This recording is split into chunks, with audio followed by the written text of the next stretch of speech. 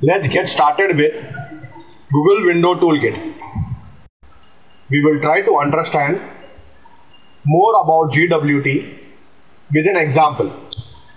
After installing the Google Window Toolkit plugin within Eclipse, we can create a new web application project pertaining to GWT. After clicking on this and giving the project a name, we can finally click on finish on doing which a web application project pertaining to GWT will be created. As you can see, we can enter the project name as well as the package name. The package name plays a very important role with respect to overall application. You can disconnect the use Google App Engine button and click on use Google Web Toolkit button. After entering the project name and package name, the finish button will be enabled on clicking which a GWT web project will be created. We have similarly created a project with name Hello World and the package of the project has been given as com.questpond.helloworld. Shown is the overall structure of a GWT web project within which we have packages pertaining to client as well as server. We also have a gwt.xml which works as a deployment descriptor for this GWT application. Below within the war folder, we have the hello world.htm as well as the hello world CSS which forms the CSS for this HTML. The starting point for this GWT application happens via the entry point which is present within gwt.xml. We map the entry point class to hello world which is present within the package com.questpond.helloworld.client. We also have corresponding source paths for both client as well as shared. Currently we are using a theme with name Clean. We will explain more about themes in the coming tutorials. Shown is the Hello World class which implements entry point.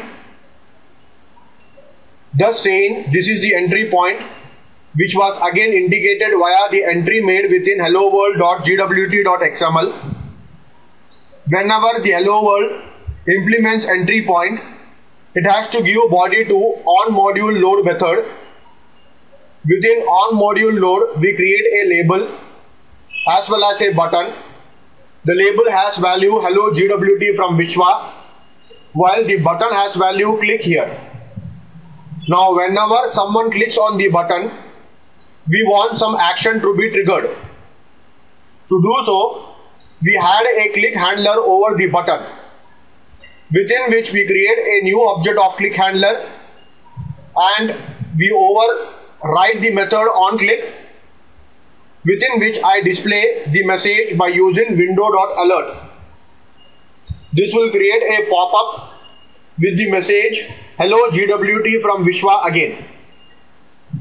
Once we have created the widgets like label and button, it is our responsibility to add the same to the HTML which we do by getting a reference to it by using root panel.get and within that get we add the label as well as button.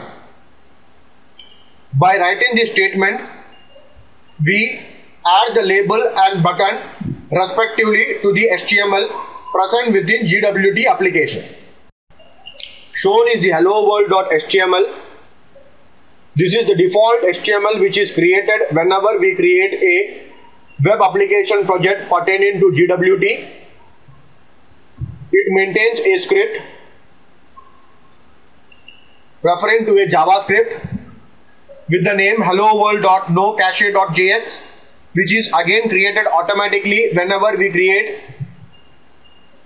a Google Window Toolkit web application. We also have iframe and no script which will be displayed whenever JavaScript is not enabled.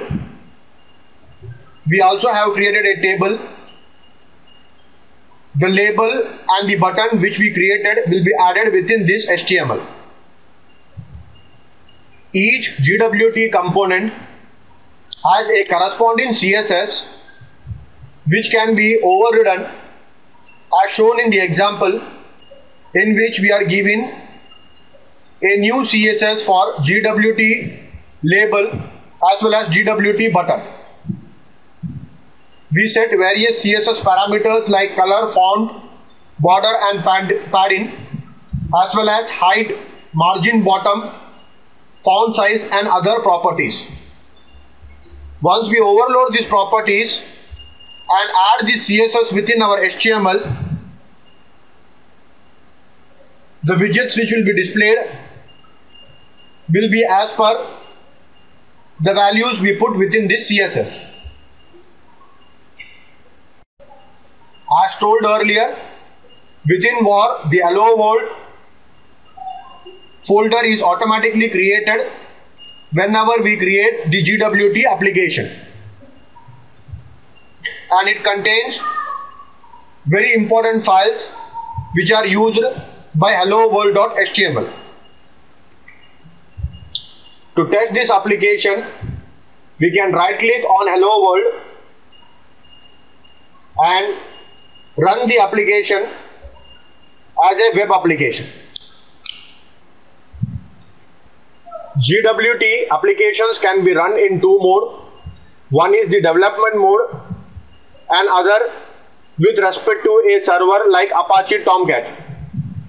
For the development purpose, we generally make use of development mode.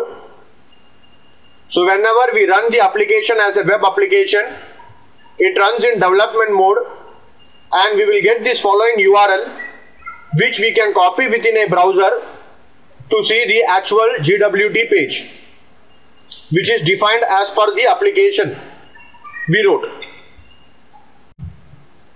After copying the URL from the development mode and putting the same within the web browser, we are able to see the first GWT page which we created. The results are displayed from the hello world which was our entry point. Many a times when you assess the application for the first time, it will ask you to download the Google plugin for the particular browser. You can easily click on S on doing which the browser will download the Google plugin and later on on restart you will be able to see this page. As we can see we have the label as well as the click here button and whenever we click on the click here button the window.alert pops up saying hello GWT from Vishwa again. Thus we have seen how to create a simple GWT application which has a label as well as button and an action associated with the button.